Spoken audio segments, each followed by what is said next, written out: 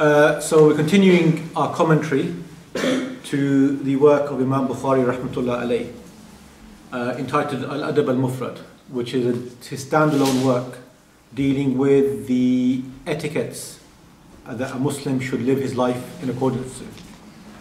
And we've reached hadith, uh, chapter number 15. And chapter number 15 of this blessed book is entitled Bab Uquq al-Walidain, Bab Uqubati Uquq al-Walidain. The punishment for disobeying parents. The punishment for being disobedient to parents. And as we previously explained, the word uquq, which is used in this chapter heading and in the hadith, it refers to the opposite of, uh, it comes from the meaning of qat or severing. And so when we talk about uquq al-walidain, we're talking about severing the ties of kinship that we have between ourselves and our parents. No matter how it's done. It could be done via rude, uh, bad treatment. It could be done by speaking harshly and rudely to them. It could be done by disobeying them. It could be done by ignoring them. It could be done by actually having no relationship with them whatsoever. However it's done, it basically comes under the category of uquq, or disobedience, or being uh, the opposite of uh, showing good treatment to our parents. So basically, it's the opposite of showing good treatment to our parents. Um, if the sisters can't hear upstairs, they can come downstairs and sit in the meeting room on the side, inshallah. They can come from the main hall. So the chapter is dealing with the punishment for not being good to your parents or to our parents. The punishment for not dealing with our parents in the best possible way. Because as we know, what Islam requires of us is not just to deal with our parents well, but to deal with our parents in the best possible way. That's the obligation we have towards our mothers and towards our fathers. To deal with them in the best possible way, to speak to them in the best possible way, to obey them in the best possible way, to have no hatred or reluctance in our hearts and no dissatisfaction in our hearts towards our parents. All of this is what's required of us as children towards our parents. So Uquq al-walidain.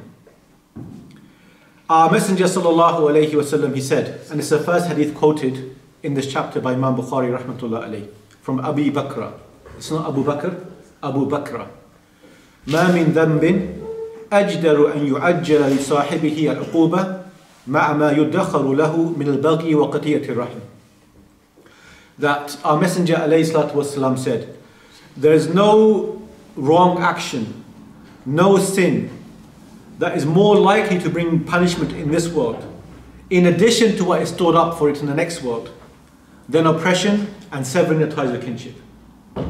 There's no wrong action, there's no sin that's more likely to bring about punishment in this world, in addition to what's stored up for it in the next world, than oppression and severing the ties of kinship. And severing the ties of kinship. Both these sins have consequences in this world and they have consequences in the next world as well. The oppressor, the one who, who is tyrannical, the one who is unjust to other people around him, he will have the consequences of that sin, the punishment of that sin in this world. And he will have the punishment of that sin in the hereafter as well. When he meets those people, he oppressed. When he meets those people, he was uh, tyrannical towards. And he will meet these people when he needs his deeds the most. As a messenger of Allah sallallahu taught us that the, the tyrant, the oppressor, he will meet the people he oppressed on the sirat, on the bridge. And this bridge we know spans the back of hellfire. And anybody, all of mankind, all the believers must cross this bridge. All Muslims must cross this bridge. In fact, all of mankind must cross this bridge. And the only thing that will allow people to cross this bridge successfully is Iman and good deeds. And if people don't have these two things, or they are weak in these two things, then they will fall, they will fall off the bridge and into hellfire. The tyrant, the oppressor, he will meet those he oppressed on this bridge when he needs his deeds the most and he is desperate for his deeds. And they will have mutual recompense on the bridge where the, uh, the good deeds of the tyrant will be piled onto the deeds of the oppressed. And if they're not enough, then the sins of the oppressed will be piled on to the, to the deeds of the oppressor until justice has been done between the two. And so when this oppressor needs his deeds the most, he'll find that he's losing them. Whatever few deeds he may have, whatever deeds he may have, when he needs them the most, when he's absolutely desperate for them, he's losing them. He's crying out for his deeds, and they're leaving him one by one when he meets the people he oppressed. Until, billah, that person will fall into hellfire. So the person who is oppressed, or who is the oppressor rather, he will have that punishment in this world. He will have a punishment for that sin in the hereafter as well. And likewise for disobeying parents. Likewise for being rude and disobedient to our parents. The person will be punished in this world as well as the hereafter. And we know that from amongst the signs that Allah wants good for His servant, as a general rule, as a general rule, from amongst the signs that Allah wants good from His servants, is that He punishes them for sins in this world, so that He doesn't have to punish them for them in the hereafter. Our Messenger وسلم, said that if Allah wants good for His slave, He hastens on the punishment for his sins in this world. And if He wants bad for His slave, He withholds from him the punishment, the punishment for his sin in this world and instead gives it to him in the hereafter. So, this is a general rule that for sins, Allah, if He punishes us in this world for those sins, we are saved from being punished in the hereafter for those sins with the exception of these two. With the exception of these two oppression and being rude to our parents. These two sins, billah, a person will be punished for them in this life and the next. May Allah save us from them. And not only is the oppressor someone who is tyrannical to other people, an oppressor is someone who's also somebody who's tyrannical to his own parents someone who's rude and unjust to his own parents. So a person who's unjust and rude to his parents is actually guilty of both these sins. He's guilty of being, he's guilty of uquq, he's guilty of treating his parents badly, and he's also guilty of oppressing his parents. So the actual person who is uh, disobeying his parents is actually guilty of both these sins. So he could actually be in a situation worse than the one who is just a tyrant by himself.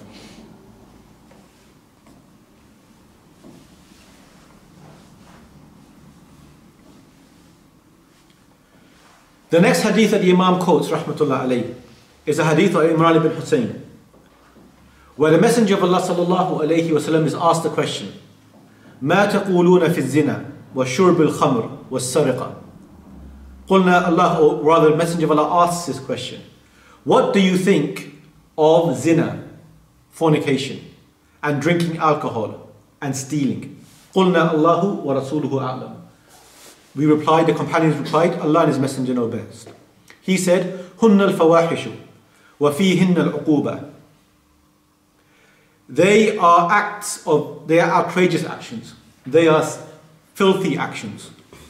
And there is a punishment for them as well, for these three sins zina and shub al khamr and sariqa, fornication and alcohol and stealing. Allah bi kabair. But shall not tell you of the greatest of the major sins, i.e., sins that are greater than even these, i.e., fornication and drinking alcohol and stealing. Ashirku billah azza wa jal. Committing shirk with Allah subhanahu wa ta'ala wa uququl walidain, and being disobedient to your parents. Being disobedient to your parents, greater than even zina, greater than even drinking alcohol and stealing. And وَكَانَ مُتَّكِئًا فَاحْتَفَزَ قَالَ وَالزُّورِ And he had been reclining when he said this, and then he sat up straight, and he said lying as well, and lying. So, committing shirk with Allah, disobedience to parents, and lying.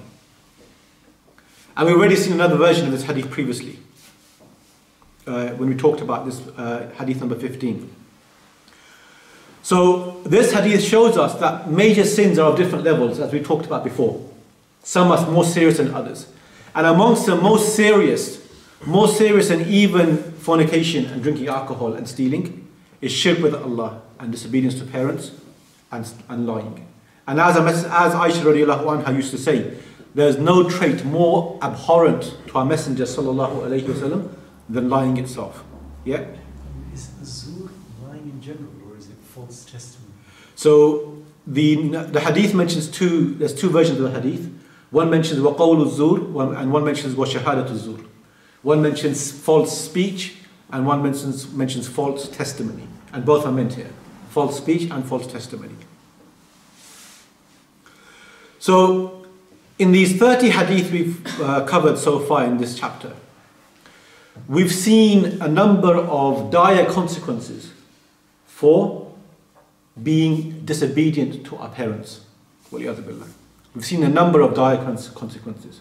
And actually, it's really amazing the number of punishments that are linked to this one sin. Sometimes, you know, you, in Islam, you get a sin, you get a punishment, one punishment linked to it, either in this world or the next. You might get your hands chopped off for stealing or whatever. There's one punishment linked. But for parents, for disobedience to parents, there is a whole host of punishments linked to it. A whole host of consequences linked to this sin. And there's only a handful of sins in Islam that are like this, literally. Be very, it's very hard to think of other sins that have so many different consequences linked to them as a result of that single sin, of that same action. So I'm asking you, for, for those who have been attending for the last few circles, give me what you remember, or let us tell me what you remember of the consequences of disobeying parents. What do we remember from the consequences of disobeying parents? Lack of lack of blessing in your wealth. Lack of blessings generally, yes. Okay. Disobeying them is directly disobeying Allah. Disobeying them is disobedience to Allah subhanahu wa ta'ala. Punishment in this life and in the next. We just learned about the fact that this person, one of the unique aspects of this sin is that Allah will punish you both in this life and the next. And not just in this life, and and then use it as an excuse not to punish you in the next. Both, you'll be punished in both worlds. Anything else you can remember? Lack of barakah We talked about lack of barakah already. Getting get into Jannah. Sorry? You will not get into into paradise, yeah. So let's go through them in order actually. So, cursed, yes. Allah's displeasure. The first few hadith we learned that the person who is displeased, when the parents are displeased with a child, Allah is displeased with that child. And when the parents are happy with that child, Allah is happy with that child. We learned that Allah's curse, Allah's curse is upon the person who disobeys his parents. We've learned that it's a major sin. It's from the kaba'ir. And not just a major sin, one of the major, major sins. The worst of the major sins. We've learned that, as you said, disobedience to parents is disobedience to Allah subhanahu wa ta'ala. We've learned that a person who's disobedient to his parents, Allah will punish him by making him a person who's a tyrant and wretched and insolent in this life. We've learned that it's one of the greatest forms of ingratitude to Allah and to the parents to be ungrateful and disobedient to the parents. We've learned that a person who disobeys his parents will not even enter paradise. We've learned that Allah will not even look at a person on the last day who disobeys his parents. We've learned from the dua of Jibreel and the Prophet ﷺ saying Ameen to that dua that a person who does not serve his parents and is disobedient to them, may he be disgraced and humiliated.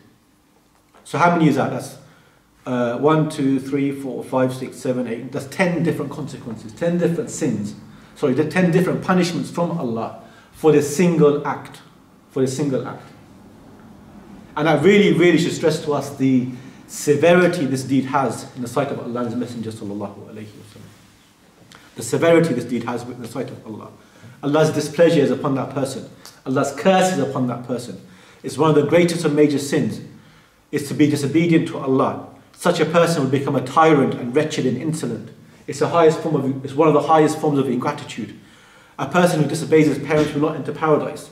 Allah will not even look at such a person.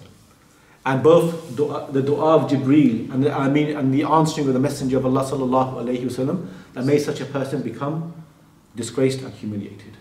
May Allah save us from this.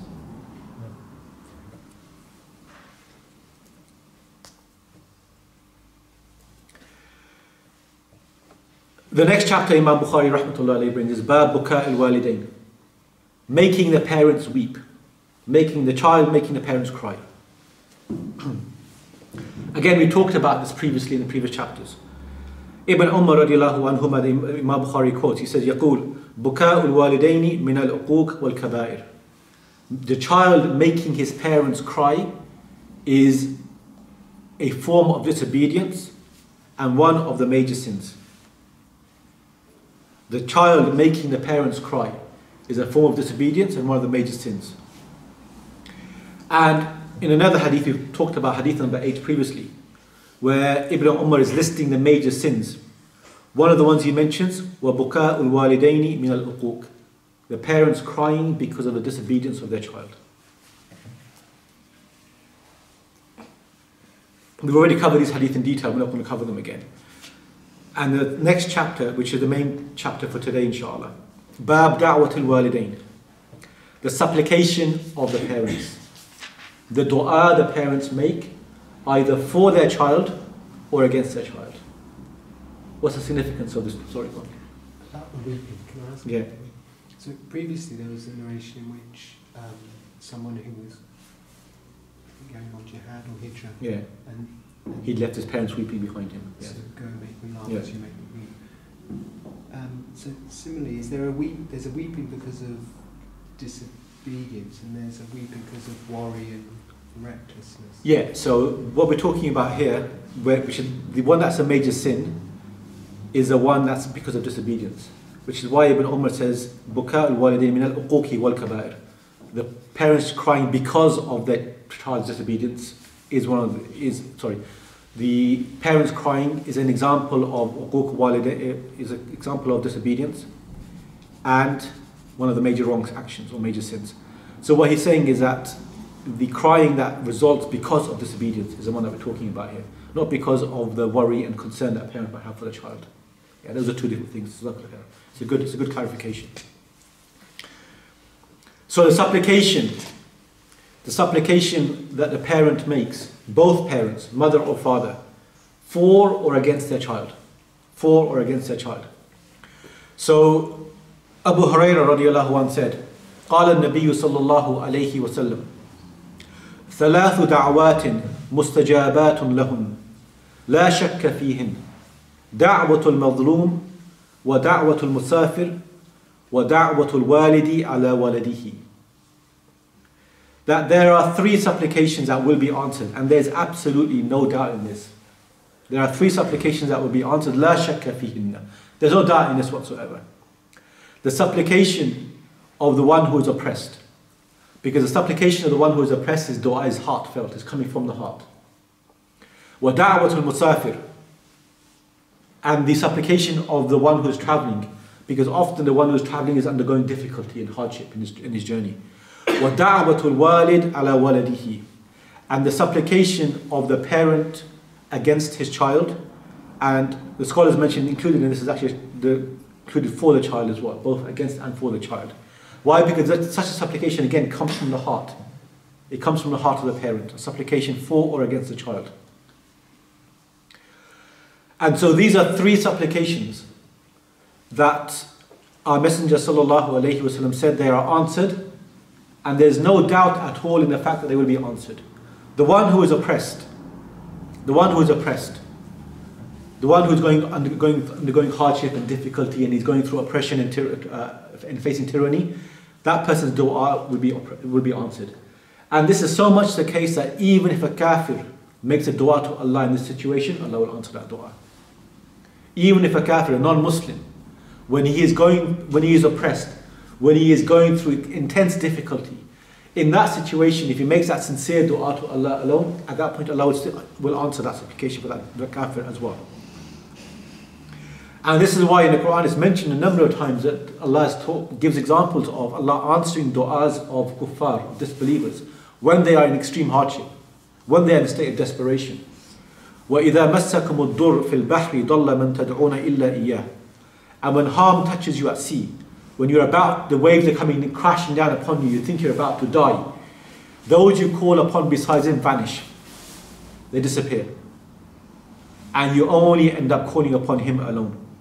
فَلَمَّا نَجَاكُمْ إِلَى الْبَرِّ أَعْرَضْتُمْ And then when he saves you and, lead, and leads you to the land, you turn away. Meaning by this, by this he answered their supplication. They cried out to him in desperation they forgot all their gods and they cried out to Allah alone and they're disbelievers. Allah answered their supplication. When He saved them and took them to the land, you turned away. وَكَانَ الْإِنسَانُ كَفُورًا And man is ever ungrateful. And our Messenger sallallahu alayhi wasallam said, Beware of the dua of the oppressed. Beware of the supplication of the oppressed. Because there's no veil between it and Allah. There's nothing separating it and Allah. It goes directly to Allah subhanahu wa ta'ala. And in a narration, another narration, beware of the dua of the oppressed, because there's no veil between it and Allah, even if he is an evil person. Even if that person is making that dua is an evil person, because his evil is against himself. So in this situation where the person is being oppressed, even if he's an evil person, in that, in that circumstance, if he calls out to Allah sincerely, Allah will answer that supplication.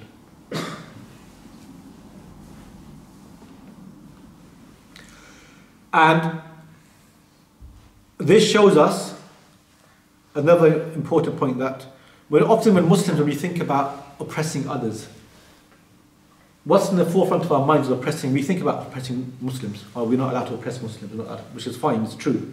But actually, we're not allowed to oppress Muslims and non-Muslims. Here, the kafir is making a dua to Allah, Allah is answering because he's oppressed. It doesn't matter who's oppressing him. Allah will answer the supplication of the of the non-Muslim, even the evil person. We're not allowed to oppress the righteous. We're not allowed to oppress the evil. We're not allowed to oppress the Muslim. We're not allowed to oppress the non-Muslim. We're not even allowed to oppress animals. We're not even allowed to oppress Allah's creation. None of this is allowed for the Muslim. The second dua that's going to be likely to be answered is because is, is a dua of the, of the traveler.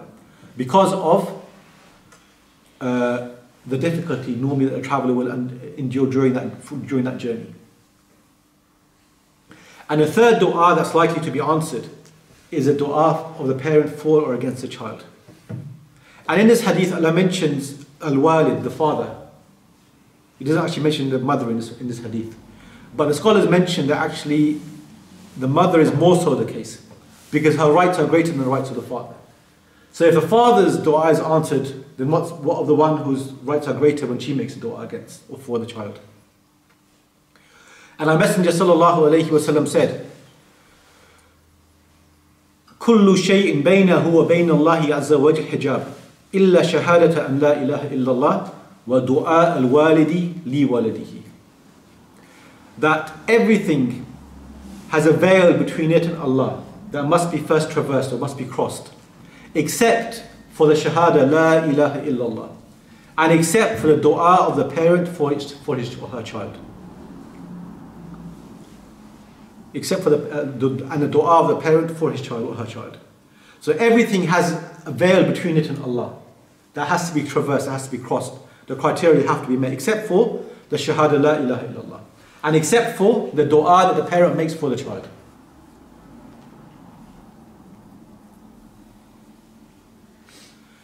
And one time Al Hassan al Basri, he was asked, uh, sorry,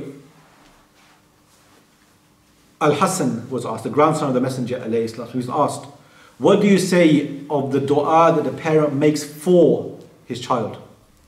What do you say for the dua that the parent makes for his child? Qala najat.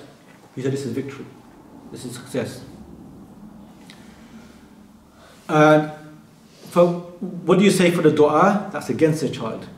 And he said, this is isti'sal, it's um, imprisonment. It's a, it's, a, it's, a, it's a curse effect. So the first time he says Najat, he raises his hands like this.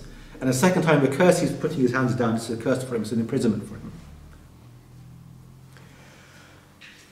And so the dua of the parent for or against the child is answered by Allah subhanahu wa ta'ala when it's done in a time of sincerity, when it's time, done coming from the heart, when it's done, done, in, a, done in a time of, of um, pure, like, of need, if you like.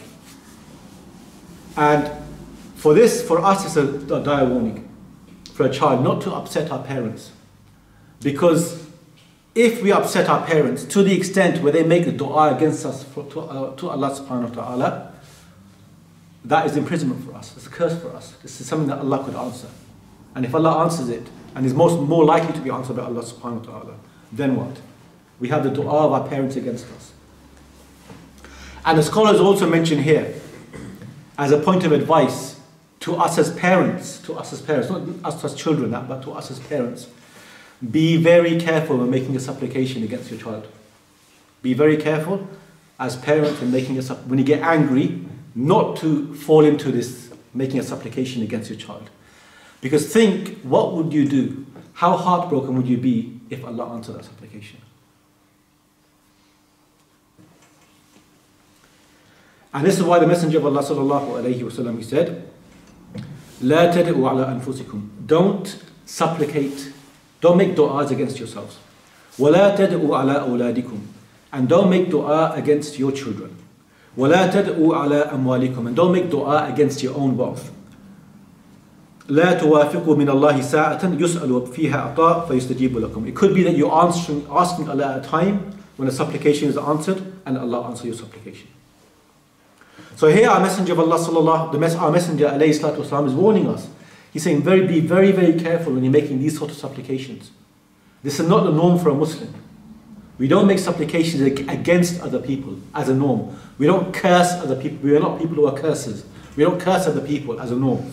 We don't make supplications to the detriment of other people as a norm. لا تدعوا على أنفسكم. Don't make supplications uh, uh, uh, against yourselves or against your children or against your property. It could be that you're answered. ولا على خدم, in another narration, ولا على خدمكم. And neither against your servants. Don't make supplications against your servants. So there are three supplications that are answered without a doubt, and they are, and they are the supplication of the oppressed, sorry, the supplication of the musafir, and the supplication of the parent for or against the child. And then Imam Bukhari, rahmatullah in the next in the next hadith, he gives an example. He quotes an example, a famous hadith, the hadith of Jurayj, where he shows how the supplication of the mother against her child is answered. It's a long hadith, so I'm not going to quote the Arabic, I'm just going to read out the English. And the Messenger of Allah sallallahu alayhi wasallam said, No child, no baby has ever spoken in the cradle except for Isa ibn Maryam and the companion of Jurayj. So the companions, they knew who uh, Isa ibn Maryam was and they knew his story. But they didn't know about Jurayj. So they asked the Messenger of Allah sallallahu alayhi wasallam, tell us, who is Jurayj? And so the Messenger of Allah alayhi wasallam said, Jurayj was a monk who lived in a hermitage. And uh, one day, while he was praying, while he was praying, his mother called out to him, Ya Jurayj. His mother called out to him, uh, wanting something from him, Jurayj. And in his prayer, he's asking himself, My mother or my prayer? He's asking this question Should I answer my mother or should I continue my prayer? And he concluded that he should, he's going to continue his prayer. And she shouted a third time, Ya Jurayj. Again, he asked himself the question Should I answer my mother or should I continue the prayer? And then he decides for the prayer. A third time again, she shouts. Again, he has a discussion with himself. He asks himself the question, continues with the prayer. Now, just look at what this man's doing. He's not doing anything evil. He's not spending time on the Xbox or watching TV or surfing the net or on his phone. He's praying. He's praying to Allah subhanahu wa ta'ala. He's doing his salah. And then the mother gets annoyed. My son's not replying to me, not answering me. Perhaps she doesn't know the fact that he's actually in prayer. And so she says again, the dua she makes, she makes a dua against her son. But the dua she makes, again, this is proving a point that we talked about earlier. It's not a severe dua. It's not a hot, it's not a, it's not a dua that's going to destroy the child. So again, it shows us that the dua that the parent makes, you have to be very careful about the dua that the parent makes against the child. She said, Jurayj, may Allah not let you die until you have looked at the face of a prostitute. May Allah not cause you to die until you have looked at the face of a prostitute. Again, just look at this. It's regarded to be a punishment for a man to look upon the face of a prostitute. And look in today's society, where this is like the norm, become the norm in so many places. But in Islam, in Islam, for this person, it was a punishment that he lived to see the face of a prostitute.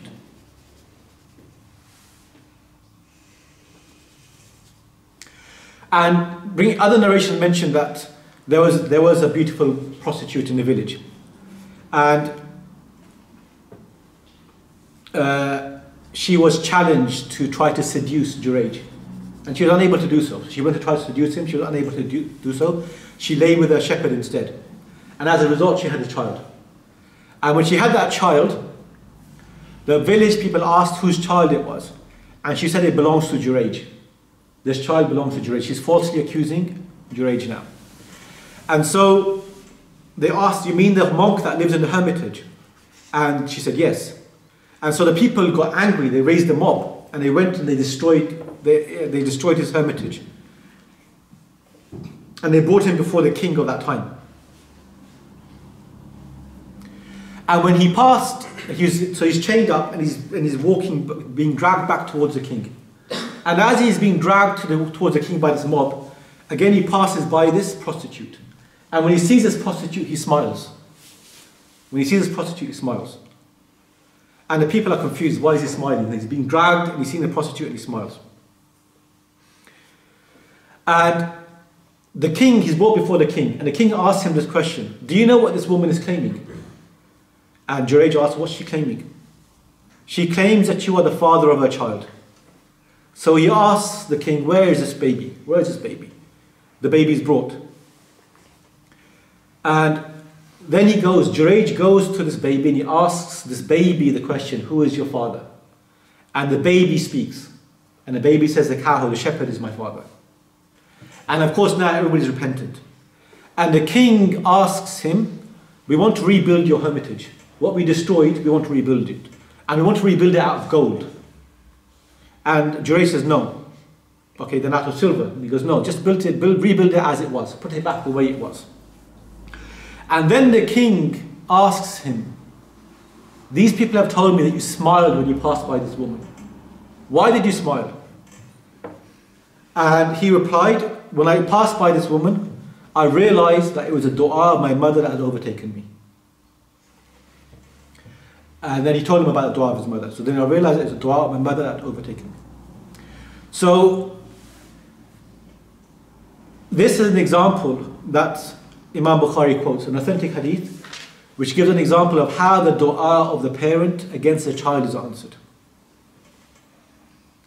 And there actually, this, this is a long hadith, as, I, as you quoted. It's actually a hadith that's worthy of being studied. And scholars, when they've commented on this hadith, have derived more than 100 points of benefit from this single hadith. We're not going to go through them at all. It's impossible to go through in one session the 100 points of benefit. But um, you can find articles on this hadith on the internet. You can find books. I think there's translation books as well commenting on this hadith.